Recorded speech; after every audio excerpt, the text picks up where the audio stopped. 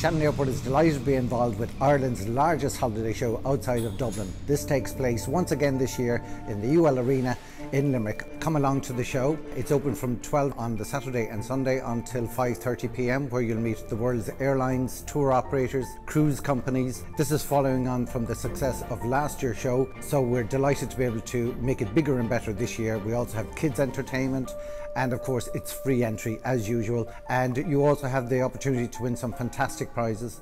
So come along to the show, get information on destinations, on your honeymoon package, on city breaks, on family holidays, even on golfing packages over 55 or even uh, 18 to 25. We've got something special for you this year.